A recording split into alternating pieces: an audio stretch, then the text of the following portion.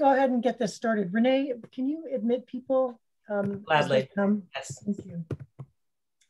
Okay, so hi, I'm happy to welcome everyone to today's presentation from Dickinson Live. Um, we have been so happy with the turnout for the series and we'll be continuing to host talks throughout the summer.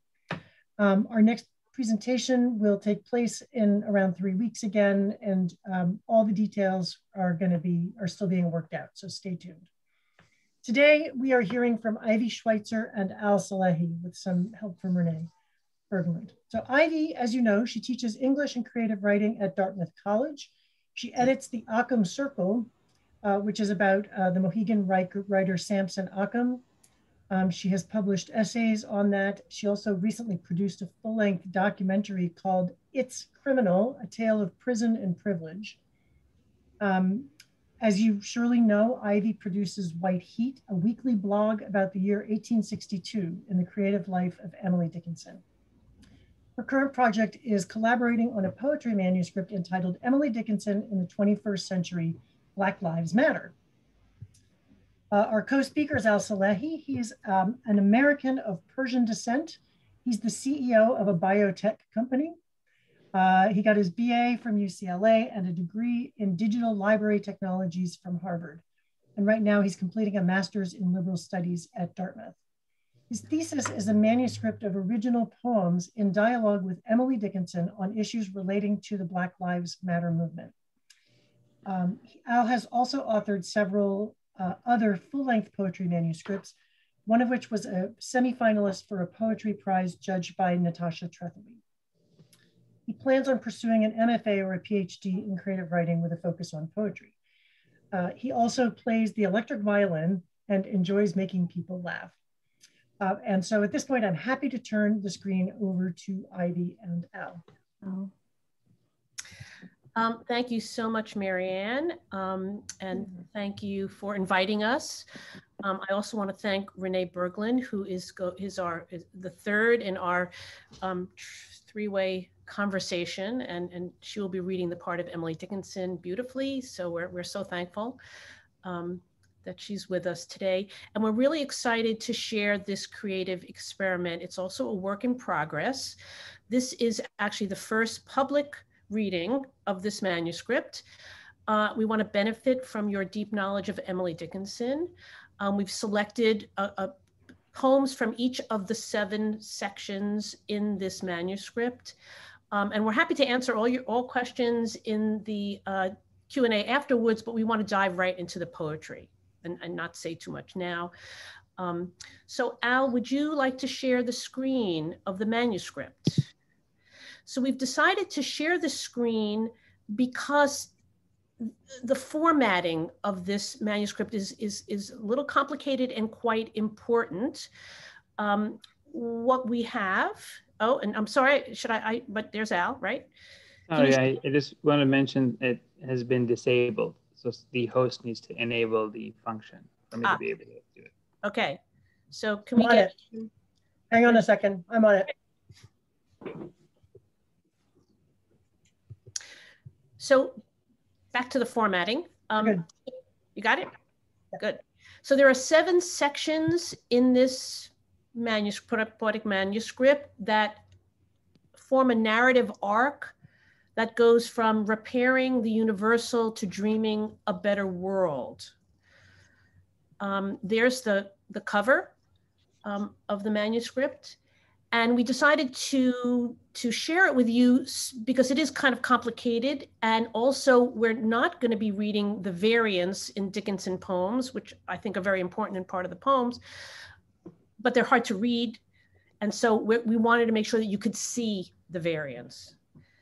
um, so as you so out so yeah can you scroll through and let's get to a page of of poetry so I can just illustrate that. So, okay, so here what you see is how we imagine the, the a book to look. So on the left, um, as you're looking at it, there will be a poem um, by Al, a poem by me, and then on the right-hand facing page, there will be one or two poems, sometimes even three poems, by Emily Dickinson.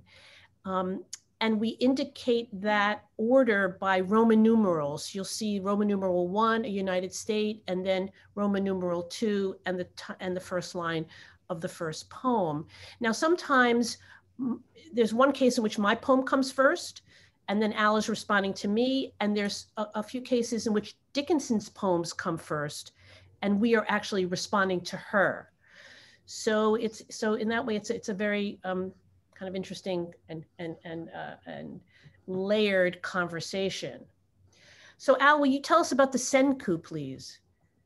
Uh, excellent. Yes, the senku is a short form poetic um, system that I designed where it's essentially 17 syllables, three lines, and it merges the senryu and the haiku together.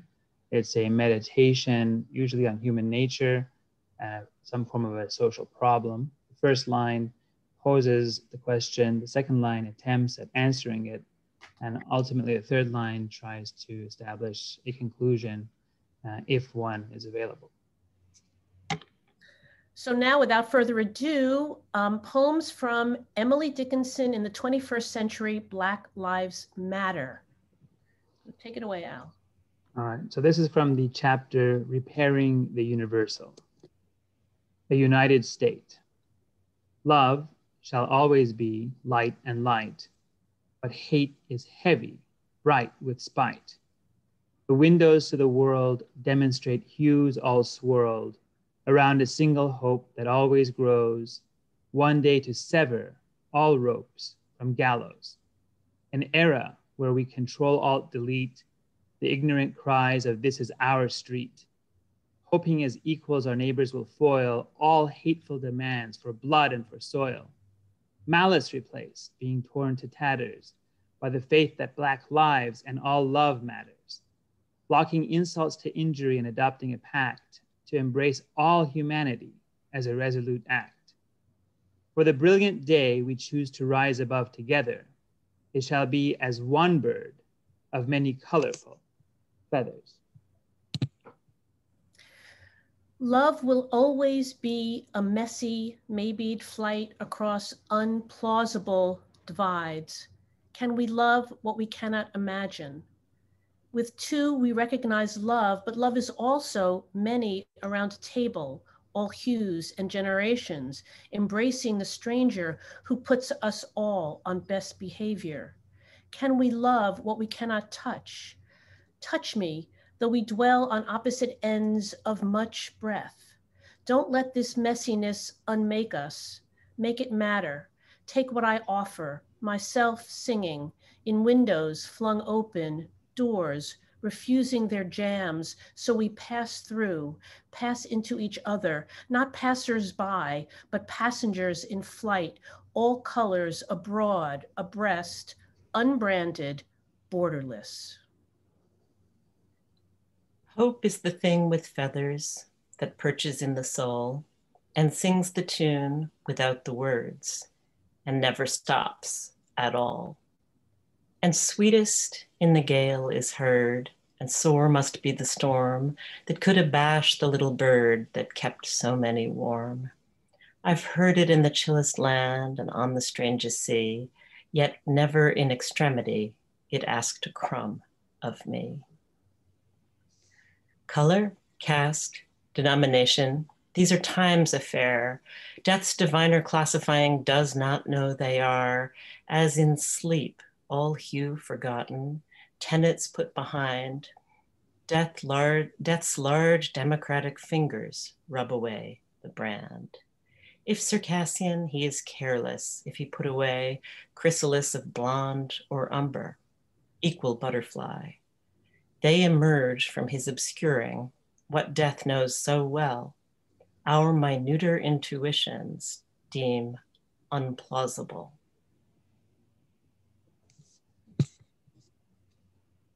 This is from the chapter Seeing in Color. Rope burn.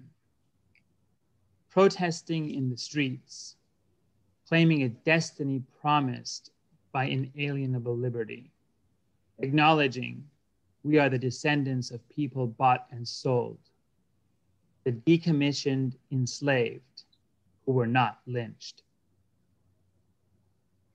Can I claim descent from you? Can I imagine you into my ancestry? Braid our genes in word ropes of DNA. Dignity now abounds. Ground me in what gave you strength, made the way we make God, not the other way round. Floss won't save you from an abyss, but a rope will. Notwithstanding, a rope for a souvenir is not beautiful. But I tell you, every step is a through is a trough, sluice, and every step a well. Now, will you have the rope or the floss? Price is reasonable. The racist frame of mind. There is safety in numbers, said the atoms that made up the anchor. Have been unaware of my privileges as white, check. Really unaware of my privileges as a white woman, check. Believe that racism is just personal prejudice, check. Protested that I am not a racist, check. Protested that I know and like many people of color, check. Protested that I have a black that I have black friends, check.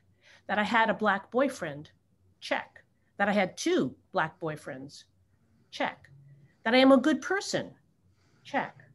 Argued that I marched during the 60s. Check. That I don't intend being racist and racism is intentional, so I cannot possibly be racist. Check. Cried and got defensive when friends or colleagues pointed out my racist language, ideas, or attitudes, or my participation in racist systems. Check.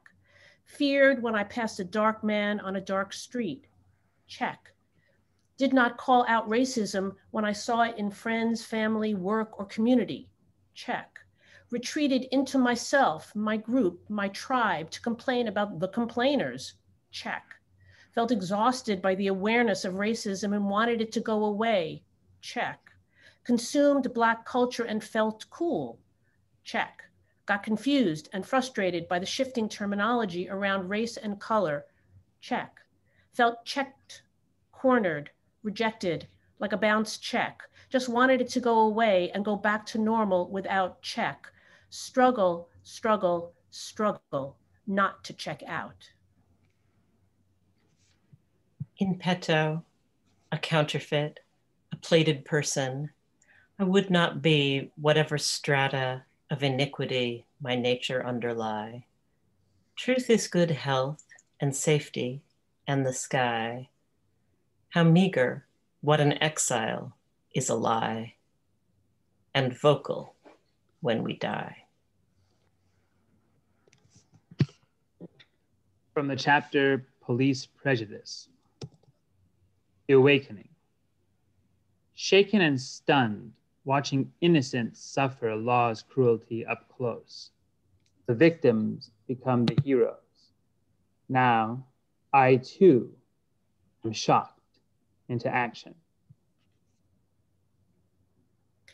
Once, on a family trip to Florida at a Howard Johnson's rest stop, we were not served.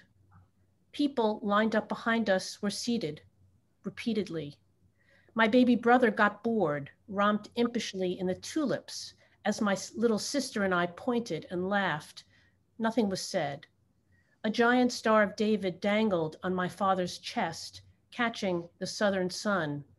We waited and waited. My cheeks began burning. Someone finally muttered, Let's leave. We never talked about it. He fumbles at your soul as players at the keys before they drop full music on. He stuns you by degrees, prepares your brittle substance for the ethereal blow by fainter hammers, further heard, then nearer, then so slow.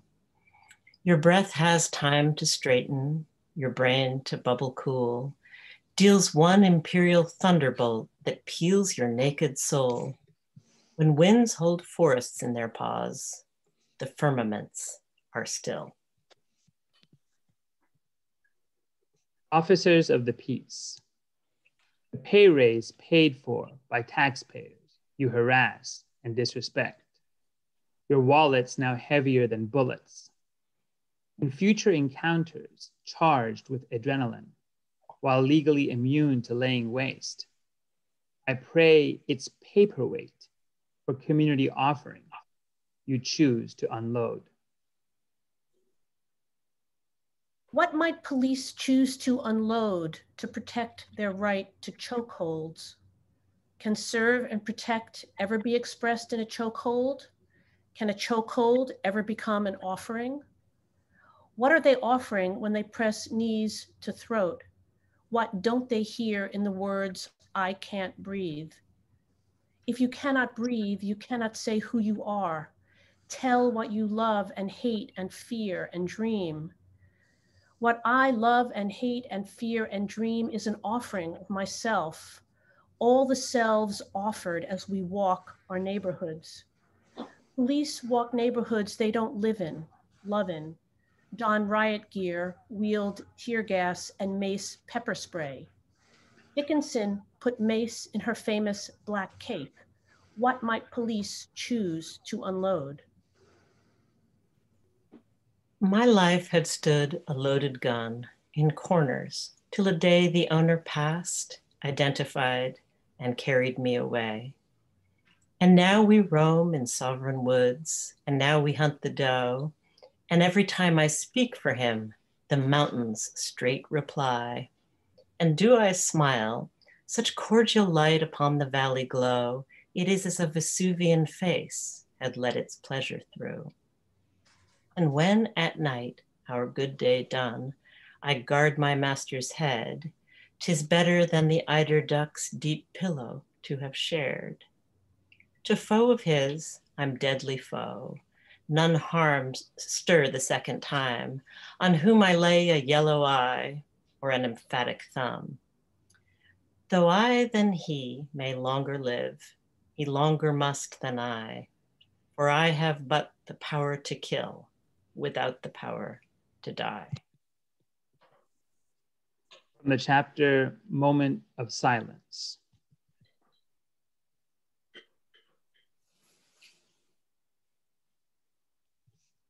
Gathered into the earth and out of the story, gathered to that strange fame, that lonesome glory, that hath no omen here but awe. we do not know the time we lose, the awful moment is, and takes its fundamental place among the certainties. A firm appearance still inflates the card, the chance, the friend, the specter of solidities whose substances are sand.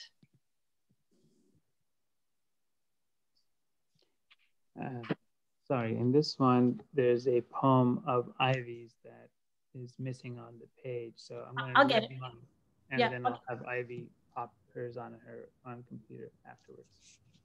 Um, for Breonna, unsought fame, a sad glory in the ground.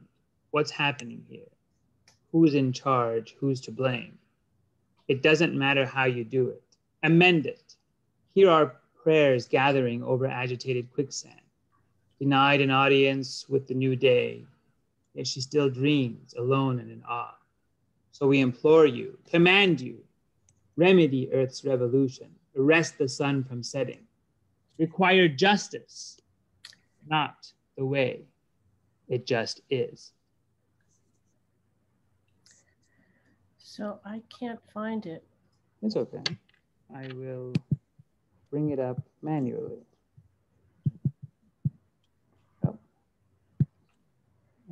That is going to be fifth on our document. And this way, everyone gets to see the madness in the kitchen.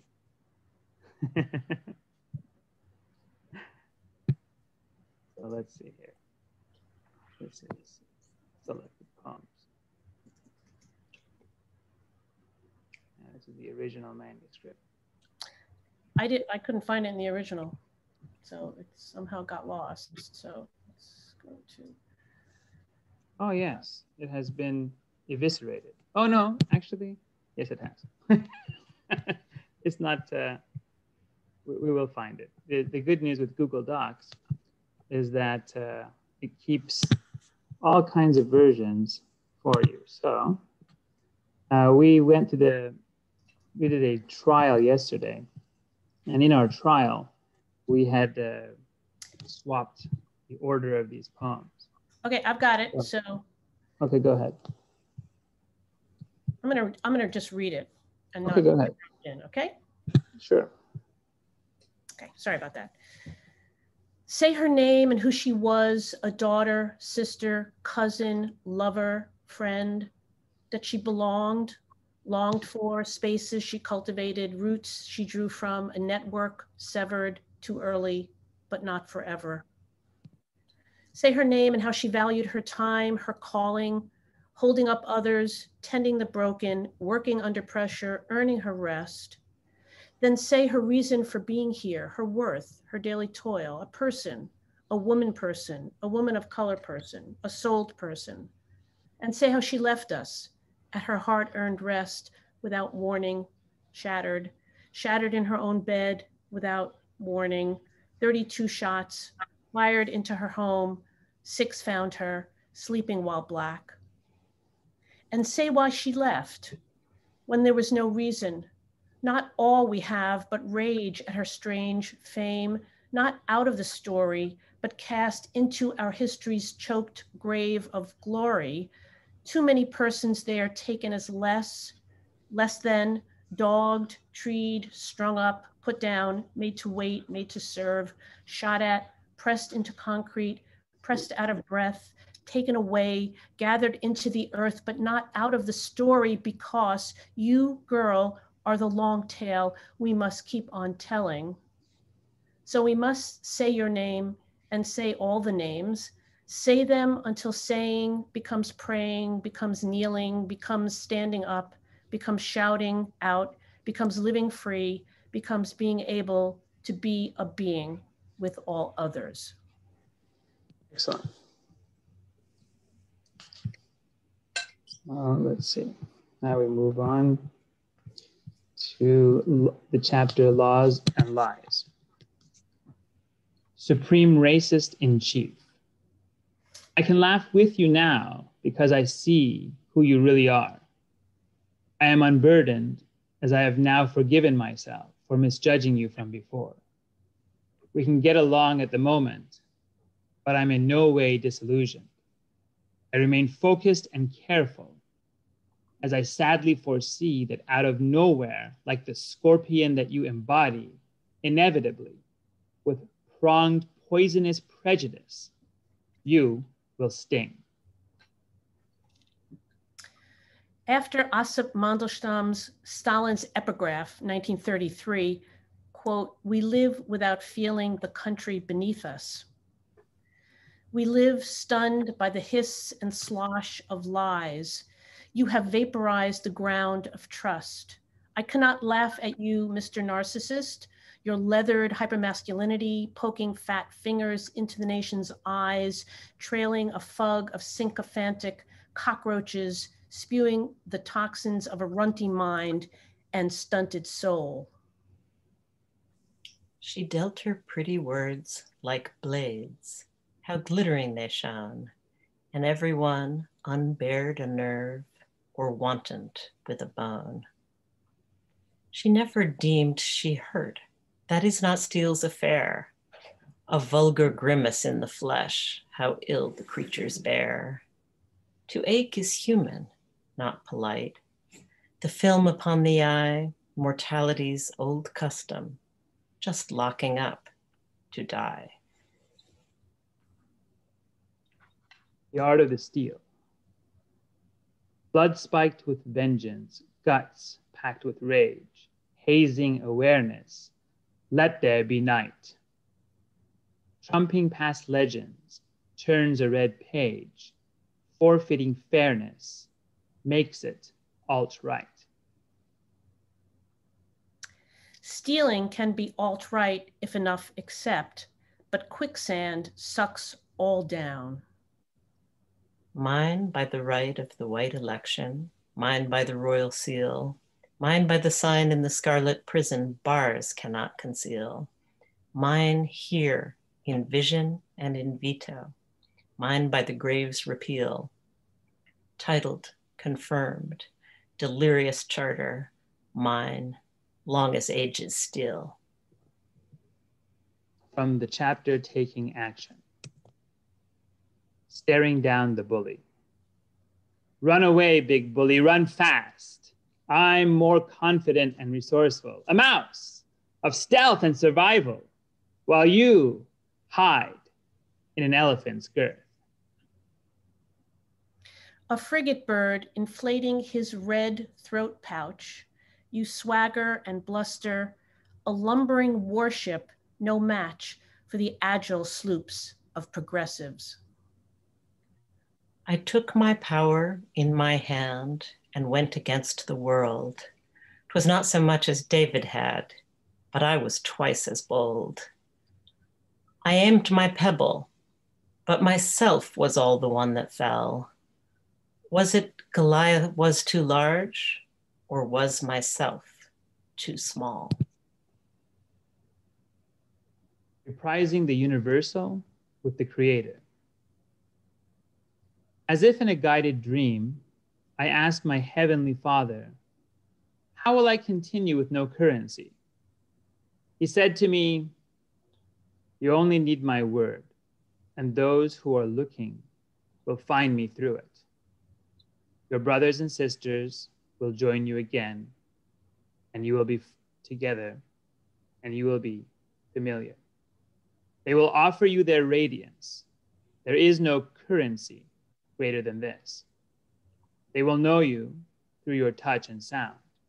They will hear my voice through yours, and they will remember. For your voice is a result of my breath, and my breath is the creator of all things.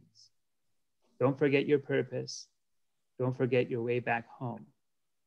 Tell them this whole day at the park is time spent with me.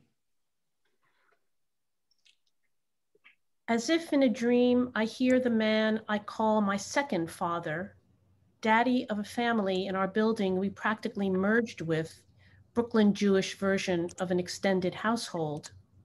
For years, I ran down two flights at night so his wife Hattie, my second mother, could suds my long hair in her kitchen sink.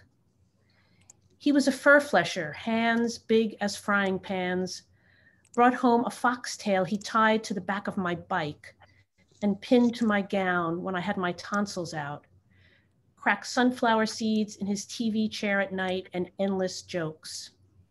As a child, I often found myself at the foot of that chair, basking in what I now know was love so unstinting it lulled the aches of my stretching self.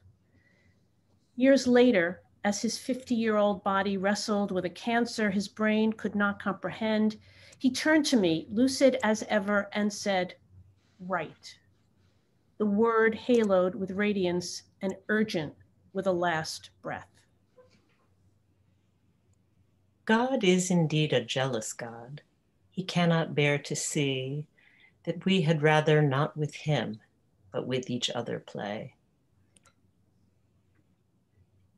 Far from love, the Heavenly Father leads the chosen child, oftener through realm of briar than the meadow mild, oftener by the claw of dragon than the hand of friend, guides the little one predestined to the native land. Some work for immortality, the chiefer part for time. He compensates immediately the former checks on fame. Slow gold, but everlasting, the bullion of today, contrasted with the currency of immortality. A beggar, here and there, is gifted to discern beyond the broker's insight. One's money, one's the mine. novel verdicts on the horizon. I am intrigued by our universe's structure. At the center is a massive, no, supermassive black hole named Sagittarius A star, or SAGRA A star for short, a mere 4.2 million times as large as our sun.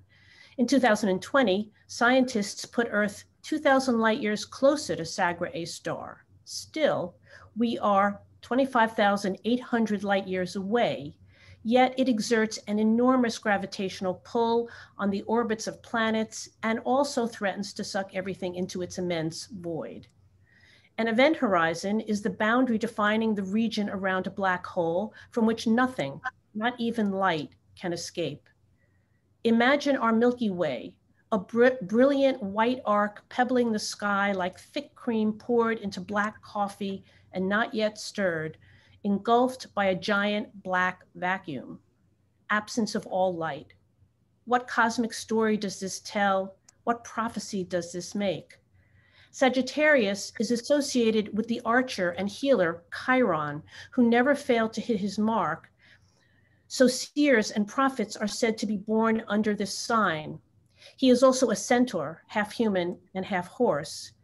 Is this how astronomers, probably mostly white, see the Sagra A star, an aggressive emptiness whose power is more slash less slash outside the human, adjacent to the bestial?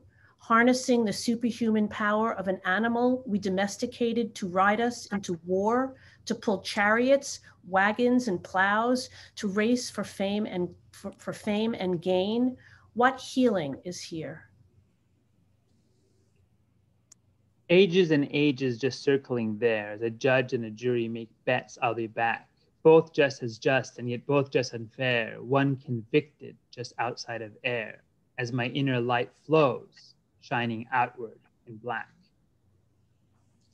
Looking forward, it happens a cosmic event, quickly issues a verdict while swallowing mass. A linear process that's equally bent creates a new turn from what came and then went.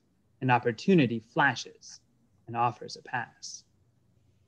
My future off balance is strung out and hung as a solar blast bursts to throw me off loop. The accretion disk shatters while waywardly flung, as my record is broken and new notes unsung. The needle spins outward in one violent swoop. A dagger in the dust cuts an alternate course, blocking a fate that I'd lived to avoid, reversing my plunge with its immutable force, hence changing the odds for this branded dark horse as two paths diverge in an x rayed out void. We see comparatively the thing so towering high, we could not grasp its segment unaided yesterday. This morning's finer verdict makes scarcely worth the toil, a furrow, our Cordillera, and our Apennine, a knoll.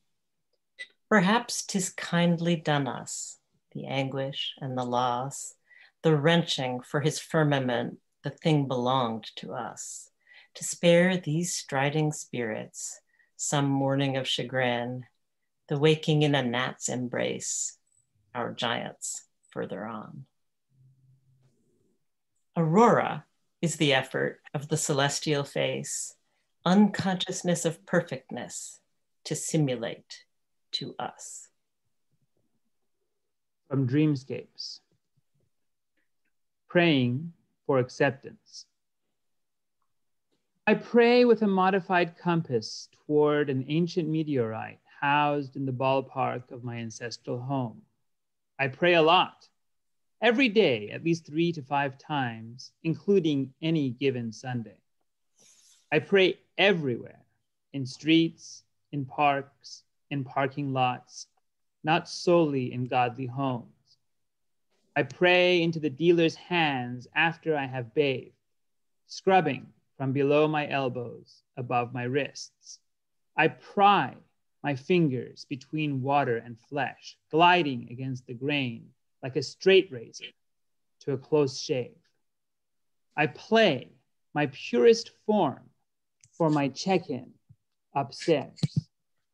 Be'esme Allah Rahman Rahim, in the name of God the greatest, I pray as an immigrant, you will accept me in the place you have always called home. I pray, though my faith in Yahweh, in any God with auditory capacity, is severely shattered. I pray most often to a goddess of settling, Shekinah, shy, volatile spirit of places. I pray when in motion, loping through neighborhoods, weeding and deadheading, not solely in my plot. I pray in accents foreign to my own ears after I talk to my depressed son. I pry my lips between desire and reprieve, phrases that often slip away. I play endless games in my head with my head. Al Mole Rachamim, Shochain Bam Romim, Hamse, Menucha, and Kona Al Kafe Hashkina. God, full of mercy, who dwells above, give rest on the wings of the divine presence. I pray as woman, as white, we learn to greet each other and recreate what home is. At least to pray is left, is left, O Jesus in the air. I know not which thy chamber is. I'm knocking everywhere. Thou settest earthquake in the south, and maelstrom in the sea. Say, Jesus Christ of Nazareth, hast thou no arm for me? Of course I prayed. And did God care? He cared as much as on the air a bird had stamped her foot and cried, Give me my reason, life. I had not had but for yourself. Twere better charity to leave me in the Atom's tomb, Merry, and not and gay and numb than this smart misery. On the horizon of change, one way entry, can't back up, reflect, uncharted transition to see. Like butterflies bursting cocoons only to fly across an ocean. My cocoon tightens, colors tease. I'm feeling for the air. A dim capacity for wings demeans the dress I wear. A power of butterfly must be the aptitude to fly.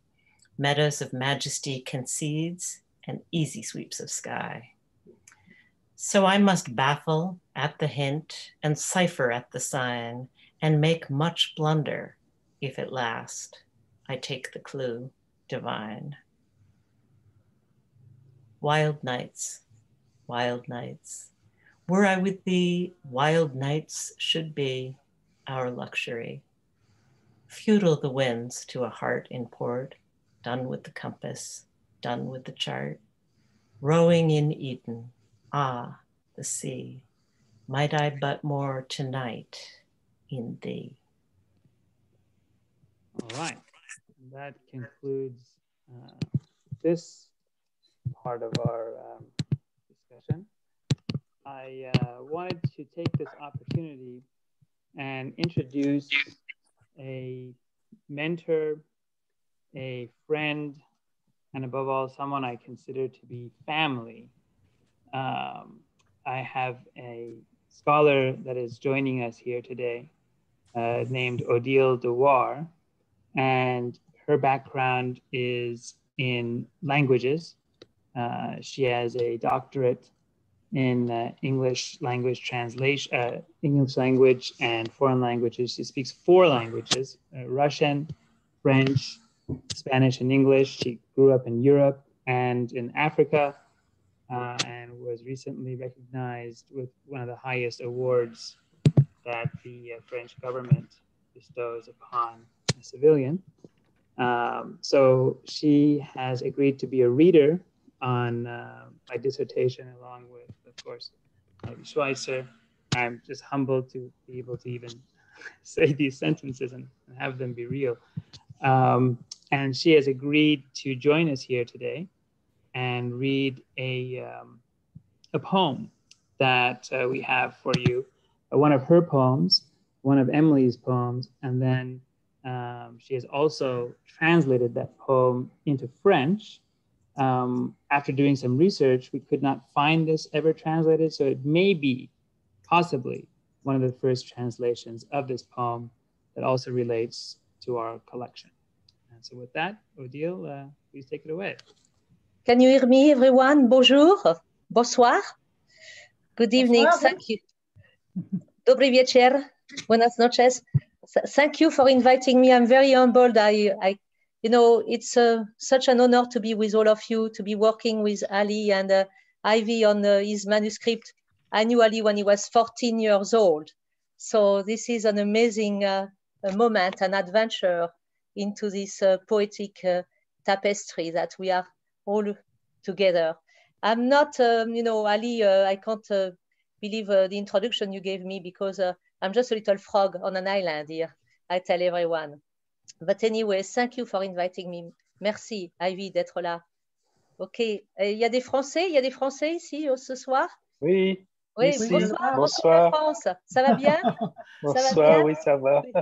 Euh, vous êtes d'où en France? Je suis à Orléans actuellement. Ah oui, c'est très beau Orléans. Voilà. OK.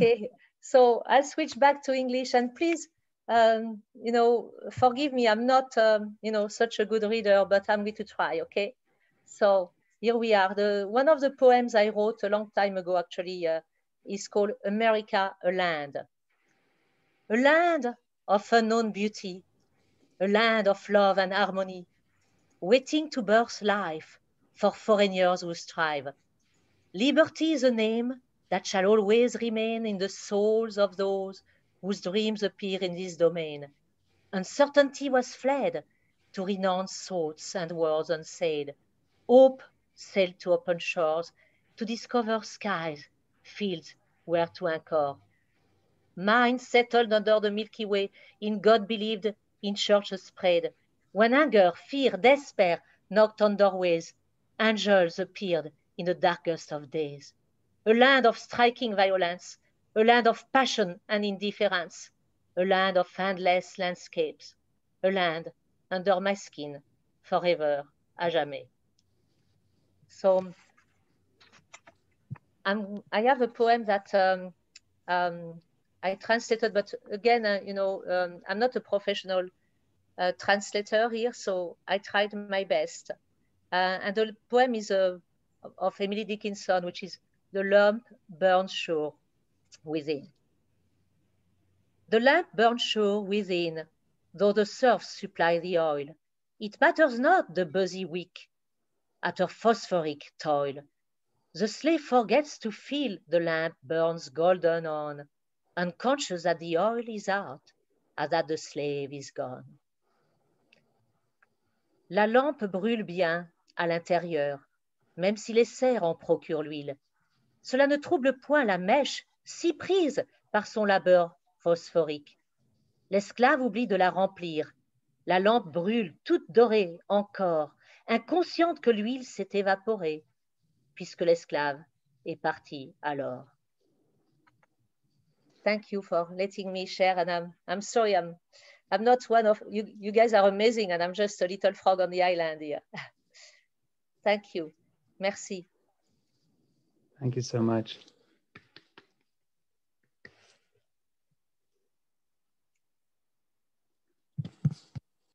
I also wanted to say that um, it's amazing that we can all meet through the magic of poetry and uh, all over the world, and that can change lives really. And that's why I think that this, um, you know, manuscript of Ali about and Ivy about Black Lives Matters has touched my heart so much because I think it's going to change people's attitudes too. And I think that's what poetry is about too. You're messengers of action too.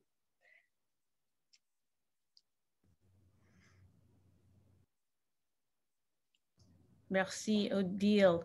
Um, Marion, can we open it up for discussion and comments or reactions? Yeah, absolutely. Um, I, I mean, if people, if you would like to ask a question, just go ahead and unmute yourself and speak it out, please.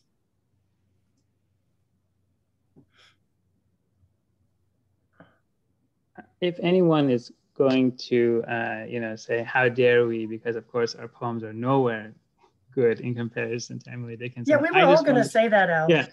I just want to say that I brainwashed Ivy, and I am responsible for this. So just take it out on me.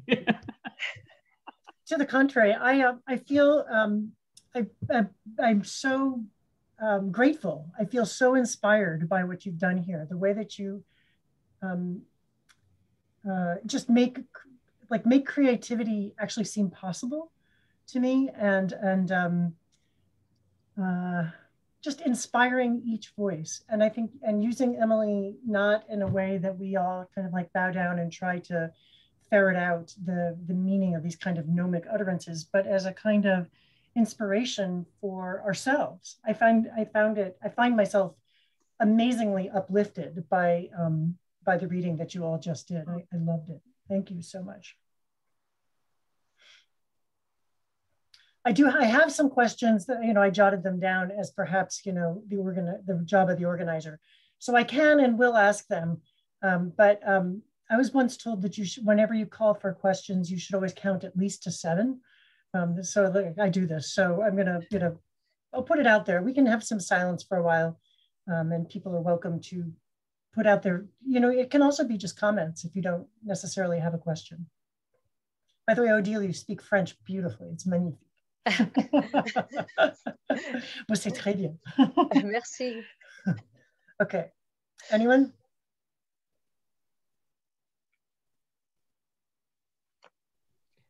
I will say, first of all, um, merci beaucoup. I mean, this is just amazing. I found it exhilarating. It's very timely. I put a short stanza from Dickinson in chat that I started thinking of while y'all were reading. Um, and I just want to thank you so much. Poetry is a wedge into the world. It opens up possibilities. Uh, and I, I just, you know, I am, this has been breathtaking. And I don't have many words here except for thank you. And thank you for seeing poetry as a wedge, as something that will create opportunities for connections that we might not have otherwise. And we so desperately need them now. I mean, Black Lives Matter speaks for so much in this very broken world. And this gives me hope. So. Um, I am really impressed with this. I have really um, I'm just overwhelmed. Uh, the way the Dickinson poems went with your poems and uh, the way you hit upon the things that are bothering me. Um, the poem Check, the one that ended in check, I have a friend that I want to share that with because he is just, he quit the church because we're concerned with things like uh, prejudice. And, and he says, I'm not prejudiced. The whole uh, thing that's going around uh, that white people don't know they're prejudiced. I'm, I'm trying to think of the book that we read. um, I will. But anyway, I want to read. Is this a book? I want to read it. I want to watch it on uh, YouTube. I want to share it with my friends. Thank you. Well, it's interesting, Nancy, that you, you said that because that poem specifically was written after a summer of reading um, White Fragility by Robin. That, that was it, White Fragility. Um, I actually have some problems with that book. Um, and, and the one that I actually like better that I would recommend to people is called um, Waking Up White. Um, by, who is it by now? Um, I forget her name, but I'll, I'll get it. Waking Up White and and being in the story of America, it's it's so much more humble um, yeah. and less accusatory. Um, and I think this is one of the things that we as white people need to be doing right now. We need to be thinking about our whiteness.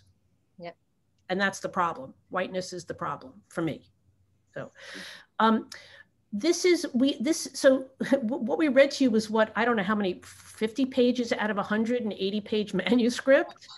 So it's it's it's really quite a long manuscript. Um, and it is a book. I, I think, Al, we agreed that if people wanted to see it, right? I mean, it's, it's still in progress. We're still working on it. that we'd be happy to give if people had Gmail addresses, we would give them the we would allow them to share. Is that how we did? Is that what we decided? So that you know, just email me if you if you'd like to see it, um, or we could just send you you know the little selected poems. It was a little easier to you know deal with because it's not a 180 page manuscript, but we're happy to share it because the point of the poems is to raise consciousness. Mm-hmm. That's really and as Odile said, it's a call to action. That's the point of the poem. So I'm so pleased that you like that poem. I, I was worried that that, you know, it, that was a very heartfelt poem that I wrote, the Check poem. And, and it was really about me in the pro- process of wrestling with these issues mm-hmm. and, and, and showing myself as not perfect, you know, it's not, you know, or not, not arrived in this woke state, but that, you know, all the things that I'm struggling and wrestling with. So thanks, Nancy. Can you guys say a little bit about how Dickinson helped you um, helped focus your thinking about the Black Lives Matter movement and also how Dickinson helped you find a voice to articulate that?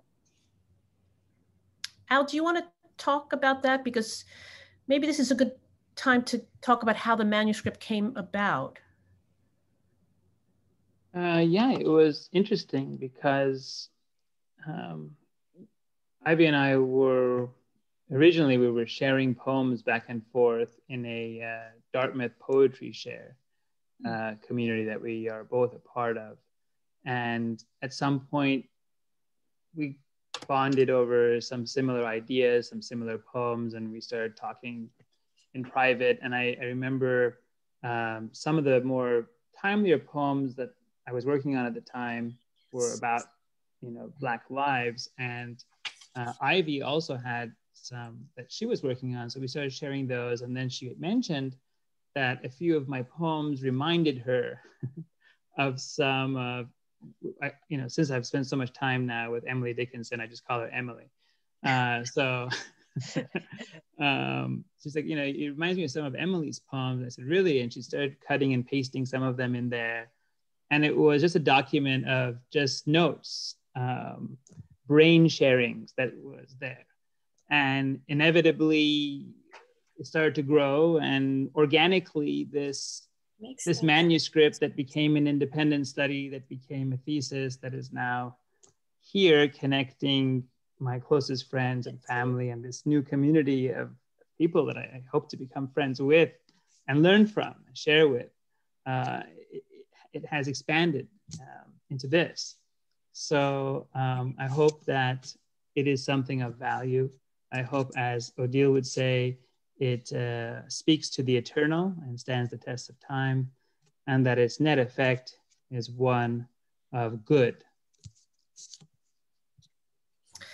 And I would just add to that that, um, you know, as people know, working on the White Heat website, which focuses on the year 1862, has really focused me on Dickinson's thinking around the time of the Civil War. So around the time of, you know, kind of this very public uh, um, reckoning, again, reckoning with racial issues about race and justice. And and and it was really important, I think. So that that was really part of the thinking. And and that's and Al uh, we we went through white heat together. We we used white, you know, we used white heat as kind of a a kind of teaching um, informational portal. So we were very focused on that year and, and Dickinson's thinking in, in that year. And we really want, and it, you know, it's not about relevance. I think that's kind of a faulty concept. It's not like Dickinson is ever not relevant, um, but it's really the way she, she, as you all know, the way she's able to condense these complicated issues and feelings into these amazing images that I think was really the, one of the inspirations for me here and, and also for Al. And we really worked hard on each other's poems. We, we workshopped each other's poems back and forth. So it was really a, a kind of collaborative effort. You know, it's in, interesting because you, you saw some astrophysics there and the, the concept that, you know, we're working on is in um, in 2019, some Russian scientists found a minuscule way to send an element of light, a photon back in time that came back again with the exact same signature. So there's a what? concept and a possibility. Yeah, I'll, I'll, put a link hmm. maybe into the chat uh, to show the, the, the, research study. Um, there's a possibility that through this method and possibly other methods of these elements, the theoretical elements called tachyons, that you may actually be able to manipulate the space-time theory. Uh, and as a result, several movies have come out on this concept. Interstellar with Matthew McConaughey being one of them. And also most recently, last week, a movie called Tenet that Christopher Nolan wrote and directed uh, with inverse objects going backward. Uh, very fascinating things happening. So then, you know, I thought maybe we might be able to have these conversations with Emily through interstellargram instead of Instagram and space time instead of FaceTime. And back and forth, we could post and actually have real time poems and conversations about, well, in this particular sense, about this topic. And this topic would be the inception of those Black rights, uh, of, of, of Black people not being looked at as chattel, started at her time. She was a poet observing that inception. And here we are 150 years later, and I'm saying to her, well, we've made strides, but unfortunately, this issue is still continuing. And uh, I joke with Ivy that I hope someone through this inverted time process reaches back to us 150 years from now and says, good news, guys. Pigment is no longer an issue. We have, you know, space fungus that's about to end. Antoine? Um, Antoine? I think, I think, thank you. I think Elizabeth was before me. Oh, yeah. Elizabeth, do you want to come in? Sure, thank you. I, I, I just You're wanted welcome. to, I just wanted to, uh, well, I, th that was fascinating. I loved it. Um, and it, it seems as though the, the structure that you put together really puts Dickinson and her poems in dialogue with both of you. And particularly, I mean, I loved uh, as I'm, I'm, sure everyone did, the, the, the, kinds of nuances and echoes that you had, the alt right, for example, with putting that against right of the white election. And, and because the, the sense of, uh, you know, punning and echo, in some cases it was really strong. In some cases it seemed as though you were actually working from the same kind of structure, you know, um, and, and then against Dickinson's poems. I'm wondering, in order to enhance that sense of conversation, if you would consider also releasing this as a podcast. I don't know where you are in discussions with the publisher, but um, for me at least, it was very powerful to hear them read, and then with Renee as well, just the sounds of the voices speaking against one another was was almost symphonic. I really appreciated that.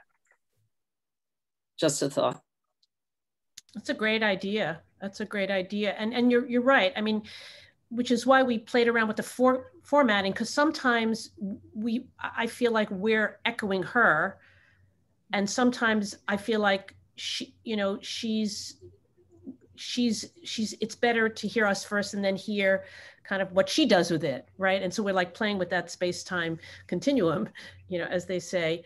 Um, but I, I, think you're right. We, um, I think Renee, thank you so much, Renee. You did such a fabulous job, um, you know, being our being our Emily. And um, I think I think let's let's think about that, Al, as you know, putting it out in in a kind of auditory, an oral form, an auditory form, a podcast, because I think the voices are really, really important. Yeah, they're very powerful.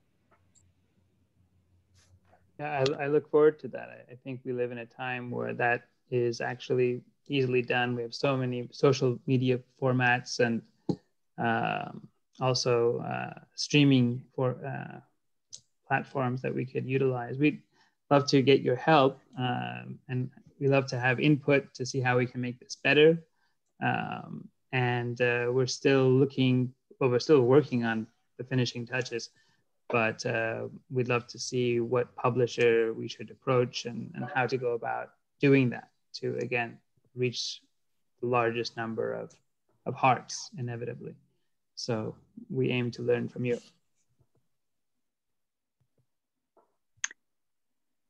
Al and Ivy I'm sorry. Um, I actually, was, I think it's Antoine.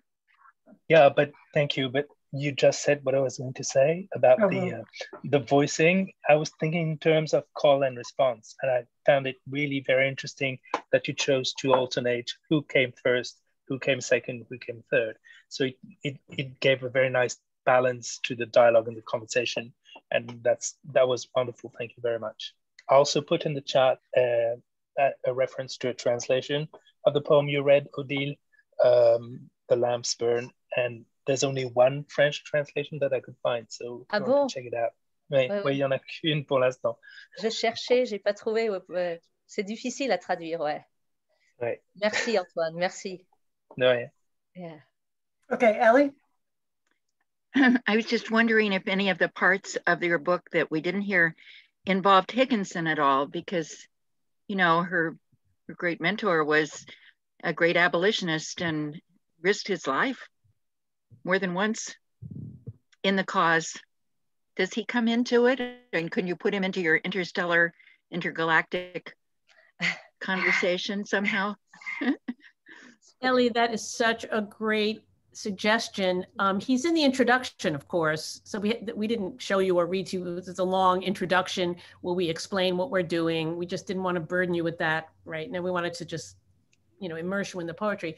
But you're absolutely right. Now that i think of it it would be really good to have a letter uh, to include a letter and perhaps have us write letters in response, you know to have a, a letter from to higginson or from higginson that would be part of the manuscript. Um, so that's something to think about. Um, so thank you. That's a great idea. I mean i'm putting it on my list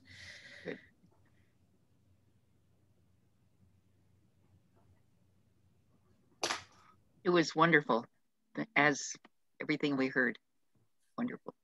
Hearing the poem, um, Mine by the Right of the White Election, uh, in the context, I just imagined, you know, Donald Trump saying that, you know, right, mine by the right of the white election. And it just has such a ironic feel to it. And then, um, you know, I think Dickinson means something different by it. Do you do you read the poem in a Trumpian way, or do you think that it's um, somehow standing apart from that?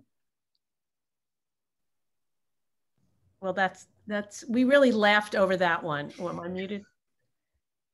Sorry, we really laughed over that one. I um, um, when I found it, and I thought, you know, and, and, I love that poem, and and of course, you know, as a scholar of Puritanism, I know what it means, but but it just kind of worked, and and I I thought she wouldn't mind us adopting it, you know, to explode his absurdness, right? His absurdity, and and you know, so so you know, and I and I worry that you know Dickinson purists would go, well, that's not what she meant. But of course, what we're trying to do here is is engage creatively in how these poems mean differently in different times, and how we somehow embrace the poem. You know what I'm saying? That different mo- times and modes kind of you know kind of embrace the poem and read and and the poem becomes something different. It's out there in the world. And of course we you know I, I that's not how i ever read the poem until i wrote this manuscript. So it's been a revelation. I see martha's martha nell's shaking her head so i feel like i'm on the i'm on the right ground. I want to um, just jump in to say that first of all thank you so much for letting me read because i love reading dickinson poems so it's just a great pleasure um, but also, that one felt bad in my mouth. Um, reading that one in that way, in that context. So I was I was convinced that there was a bit of an alt right thing. I, I agree that that's probably not what Dickinson, but it it resonated in a way that made it feel bad to read, which I say as an endorsement of the project, if that makes any sense. It was uncomfortable, and I think that was an interesting thing.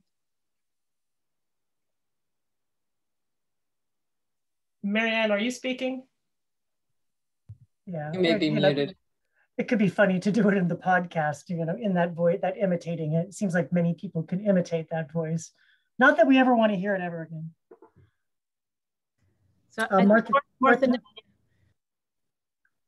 let's see. I I just want to say, um, I kept thinking also, and I put this up in chat of Claudia Rankine, and it seems that something she said about her own work really fits what y'all are doing. And Antoine's talking about call and response. I had been thinking about that as well. But your work is a song and a summons, a cry and a gathering, one long calling out. And that's so important right now. We all need to be calling ourselves and each other out constantly. It's not a time to sit back and let all be.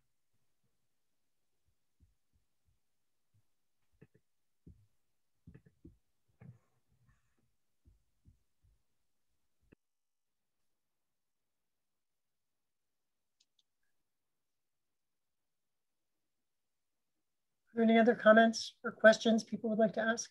I just I I I had to put the poets like put lamps in in the chat just because I think that that's that's kind of self-evident defense of exactly this type of work with Dickinson.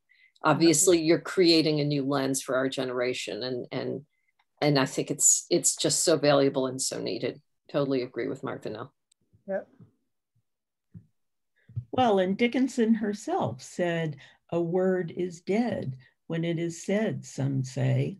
I say it just starts to live that day. And it lives on and on and on through generations. If it's poetry. Yeah. I was telling uh, Ali and Ivy that they are writing for eternity. This is for eternity, not just for the moment.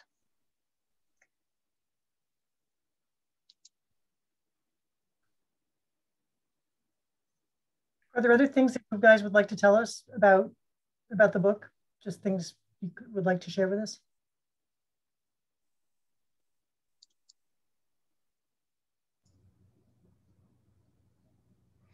Well, I, I think in any whenever you're you're doing a creative project, um, it's so it's very emotional. Um, so it's been a very emotional project because you really do have to confront things about your society, but also things about yourself.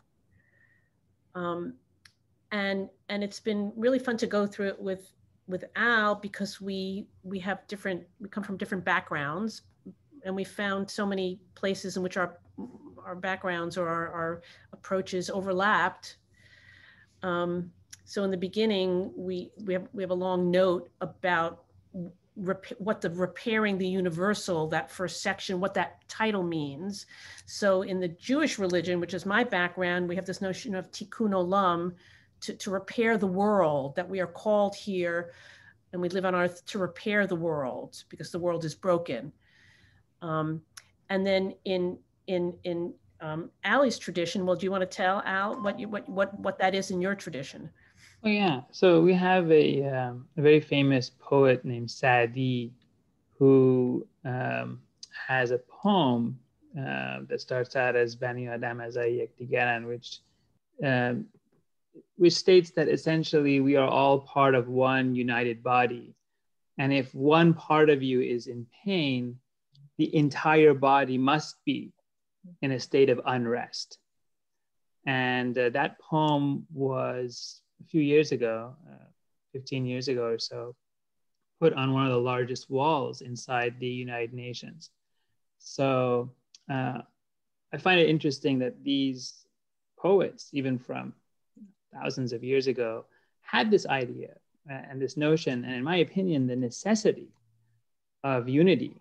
Uh, and they put it forward. And uh, honestly, when you look at it from from multiple different sciences, whether it be social anthropology um, or simple biological evolution, what has brought us to this point, aside from opposable thumbs, was the concept of being able to work together, that I may not alone be able to take on the lion, but if I can convince four or five of you to help me out, that together we can actually make this happen and then create a society and eventually move out of the jungle and into civility. So um, I thank you and the ancestors for making that happen. But I hope that we can move even further and actually look at the fact that we're not different. We're essentially concepts that are coexisting, and that all that really remains from us are our ideas. And um, I just hope to have one stitch in this idea with you guys. And hopefully, uh, with you contributing something to that greater tapestry. And I should say about that that Al and I disagreed and differed in a lot of ways in our thinking about this, right? We've had lots of discussions about the nature of the soul and the nature of the universal and the nature of oneness, you know, and whether our souls are gendered. That was a big, long discussion. And so I'm wondering if people heard those differences between us, because in a lot of ways we tried to mirror our poems and, and we took on this similar structure. Sometimes the structures are really totally different. Sometimes the structures are very much the same but then our approaches are different. Um, so I'm wondering if people heard that. Tom, do you want to? Oh yes, I, I heard it a lot. You you, the two of you have completely different sense of humor. Um, Al revels in in the pun, and you avoid puns like the plague, if I may make such an observation. Um, and um, and I, you know, this runs a little close to home too, but uh, I, I, um, I hear the difference between youth and maturity. I, I think, I think that really, that comes through. Um, and I don't, I don't mean that as a criticism, Al. It, it's just, it's just there, and and it's actually one of the beautiful interactions that we have there. The interaction between um, a, a, youth, a, a, a hyperactive youth and a, and a more careful maturity. And I, you know, um, I hope this doesn't sound critical uh, because I, I mean it to sound, uh, I mean it to be, to, to recognize it as one of the good features of, of the project. Yeah, I, I agree. It's, it's fascinating. I, I spend a lot of time observing and, uh, and trying to learn. And I, I, I recently spent much more considerable amount of time trying to unlearn. Uh, I think that as soon as you set yourself on a track, that track eventually narrows and you see life in only a certain way. And I'm I am very, very envious of human beings who are under the age of 10 because they're just so exuberant. They're running around and they're not running around in one direction. They're actually running around like Tasmanian devils because there is no rule, there's no law, there's there's no set way to think. And and if you could somehow harness the power of well an over the age of 25 mind which would be fully developed neurologically into a child's uninhibited as you say energy and un, un immaturity i think that that would be an intellectual chimera um, but if you were to design that and if you were to allow that metaphor um, I, I think you would have astounding results. You see, when I when I see a fork, I see something I can use for a salad, but a child can look at that and and see an instrument. Yeah.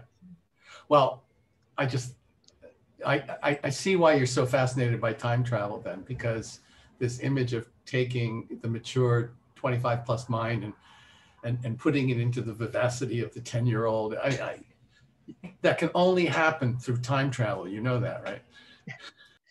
Well, no, no, it happens through through practice. The beginner's mind. We in karate we call we talk about the beginner's mind, how to cultivate the beginner's mind. The shoshin, the shoshin. Right. Shoshin when you do the you know Eastern any kind of Eastern practice, right? Any kind of do, right? So how how how can we? And I think Dickinson really worked towards that um, in a lot of ways right? So h- how do we how do we cultivate that beginner's mind that always allows us to to see all the possibilities see many possibilities and not cut them off somehow? I would like to speculate that possibly maybe by the end of hopefully by the end of my lifetime as that statement that thomas had mentioned is currently true i hope that inevitably it becomes untrue because intelligence and memory is actually a systematic set of binary transmission that happens in the brain between these little gaps called neurosynaptic fibers. And it's actually sets of lightning bolts that are, act, that are occurring anytime you make a thought. Two parts of different portions of your brain, especially in the medulla oblongata, connect to be able to give you pathways to information that then you access to multiple webs, which we then interpret as something called a collective memory or a self-conscious collective memory. So in that sense, if you can derive that, and, and, I, and I truly believe you can because it's, it's just matter, uh, and be able to transfer it, um, I think that young entities can actually be fully developed. And the concept of the chimera, just in the last two months, has taken up steam, although it is technically unethical and illegal here in America. In other countries, it is not. And for the first time, we are growing human body parts of our own in other host cells. And it is fully uh, capable of being implemented. It is, we can utilize it. So I, I think we are steps away from actually being able to test, maybe with not great success, but inevitably, something where we can extend and transfer intelligence and perhaps even consciousness.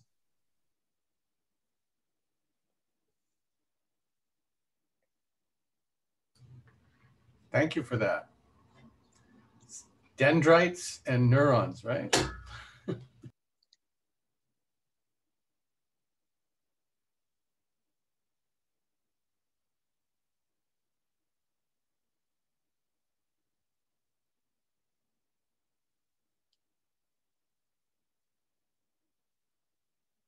Uh, I know Odile has a poem re regarding, um, I think, therefore I am, je pense que je donc. And I know that Ivy has. donc je suis, oui. Yeah, yeah. And um, I know Ivy has an opinion on that too. I think that we talked about once. I wanted to see, I wanted to see what that dialogue is because it involves that consciousness, but I don't know if that consciousness is necessarily a gendered consciousness. Um, Ali has always been very avant-garde. Even when he was 14 years old, he was thinking like that already. You were a philosopher very, very young, Ali. very, very young. Remember and that line. That line is very thin between, and I think I have one foot on the insanity side. So be measured with your assessment. Oh, everybody has to be a little bit uh, on the edge, otherwise it doesn't work. Huh? So which one of you thinks that the soul is gendered and which one of you thinks it isn't? Yes, I think the soul is gendered. because it's made from our experiences? No, I, I don't mean that. I, I don't mean that the soul is gendered. I mean that I mm-hmm. can't imagine whatever my soul is not having some kind of female consciousness. Yes. I, I just I can't imagine it. I you know, and it's not like I feel so you know totally womanly you know not at all but I, I, I feel like that's such an important part of me that i can't imagine it going away. I, I can't imagine it not being there. I, I don't know. Um maybe because i feel like somehow the feminine is the is the or consciousness. Can i say that? Yeah. and males are the you know kind of the aberration. Um kind of. I, I don't know. I'd love to hear what other people say and and I just can't imagine a gendered soul. It just seems like the whole point of soul is to transcend color, caste, and denomination. Yeah, but but I kind of I also think that the soul is made up of our experiences. Mm-hmm. So I don't think it exists. I think we make it in that existentialist way. Yeah. So, but I still think I just can't imagine it being gendered. If it's gendered, then it has to be colored, like it has to be racially marked too. And like you know, no, just yeah. Well, no, I see. I yeah, I know, but yeah, but if it's if it's made up of our experiences, that's a profound experience for people. I know, right? But it should transcend those. It should build from those to something that's out of that.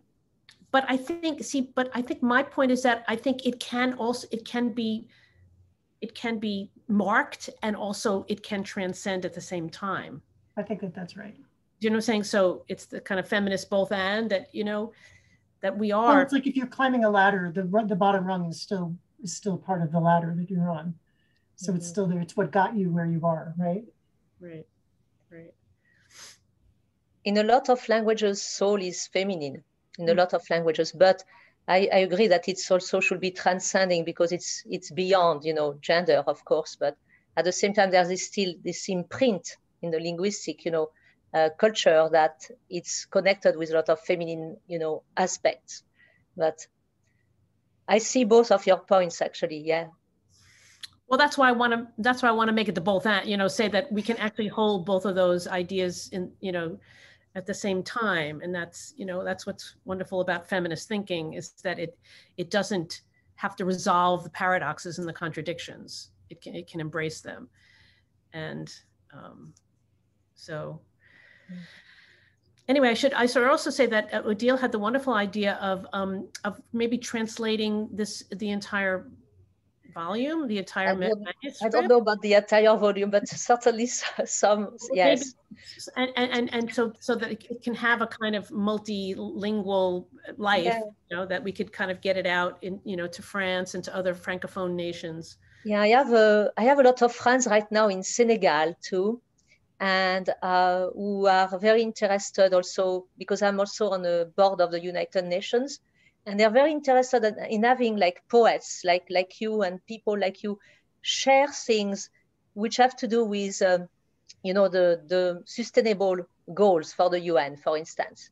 And they were speaking of course of black lives matter because it's such an important and important you know matter right now but beside that other poems too but i think this uh, i've been speaking to to my board actually about having an event about this and they told me oh yes absolutely and invite other people to to to get into that event about uh, Black Lives Matter and uh, how people are feeling. I have uh, young people in Senegal right now who are going to be writing in their school. Uh, how does it feel to be, you know, an, a young lady, for instance, in Africa, in Senegal, in the 21st century, and relating to what uh, Ivy and also Ali have been writing in their manuscript. So I think it's so exciting and and I just want to thank all of you and thank Ali and Ivy so much for involving me into this, you know, adventure. For me, you know, I have had a lot of things happening in my life the last few years, and uh, it's just bringing me hope, hope for the world. And and when I see all of you poets, you know, I'm I'm like mesmerized because that's what life should be about. It should be about reconciling people through beautiful art and not dividing. And that's, I think, the, the ultimate goal. So thank you for letting me be here today too. I really appreciate it. I want to echo that. I have, and I realized listening to this talk, it made me aware of just how beaten down I feel like I have become. Like my brother-in-law who just died, he's a smart guy. He like he believed that like the the election was stolen. Like I, am like speechless. Do you know what I mean? I'm like I'm speechless about our our world and truly beaten down. And so like listening to your poetry, reflecting it, channeling it through Dick Emily, and kind of making something positive, and not just positive, but also just like the fact of claiming a voice and mm. speaking feels positive to me. It makes me feel less beaten down. That's mm. that's what I want to say. And that that's like I didn't I wasn't aware how how beaten down I felt. um, I understand. I mean, this has been giving me so much raison d'être, you know, and I think it should give everybody a raison d'être. And that's what we are all about. Yeah. We're, we're all branches of the same tree. So regardless of our culture, languages and colors and, you know, religion, it doesn't matter. We're all branches of the same tree. And uh, yeah. this is like... Yeah. It's tikkun. And I think that, you know, besides translating this in French, it should be translated maybe in Spanish, uh, German, I mean, all the languages it could be translated in because it's really a very, very powerful, you know, message and, and the poetry is, is beautiful. I cried so many times reading both of your poems and sometimes I was so taken into this, um, you know, um, tapestry that I, I even did not know who was Emily or you guys. I mean, I was like, uh, and uh, you know, I was I was taken. I was really taken into this. Well, that's so sweet, Odile. We, we, we so appreciate your input and your support and your enthusiasm. Um, I, I have to say, like Al, I when we first started to read this, I,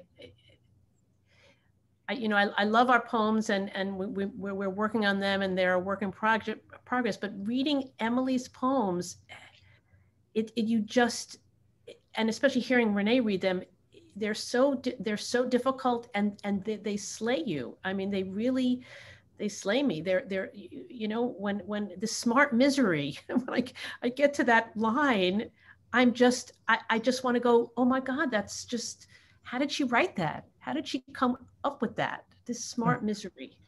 So I, I, it has just given me it has just increased my appreciation working so closely with these poems has uh, increased my appreciation of Dickinson and also of the Emily Dickinson, um, the digital archive, because that is been, if you noticed, we didn't put F or, or J or, or C numbers on the poems because we really want people to go to the manuscripts and look at them.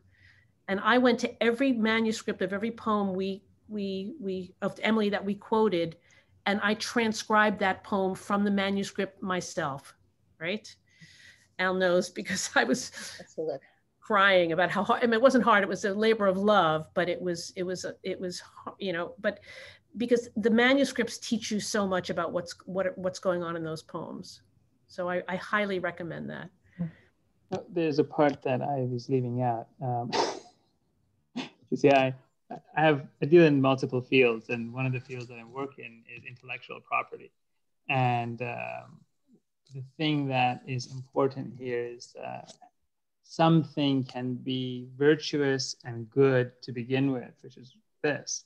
But inevitably, when it maybe become popular, you have to make sure everything that you're doing is correct and legal because one one area that you may cross the line, especially with copyright violation, you lose everything. And, may, and you may, no one may be able to at that point see anything. So when we did our research, we found that uh, so many of these fascicles, at least the photographs of them, had been copyrighted, and then later that copyright had transferred to the Houghton Library at Harvard.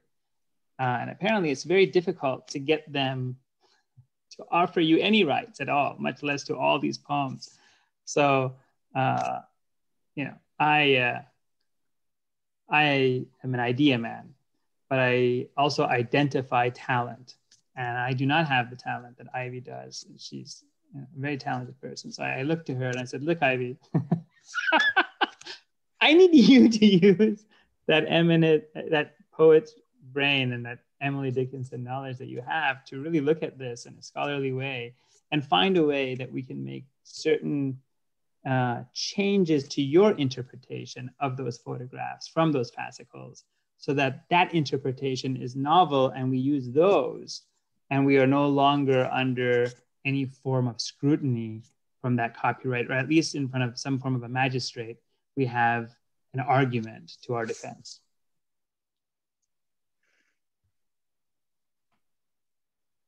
So at this point, I'm going to officially call this meeting to a close. Um, I'm going to leave the, the, Zoom open if people want to chat.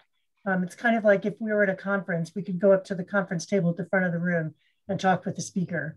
Um, but um, I think I think we're officially done here, and I know that I, for one, am just like I got a little bit zoomed out here.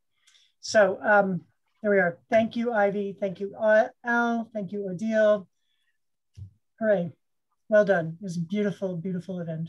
Happy weekend, everyone. Thank you to all. Merci. Au revoir.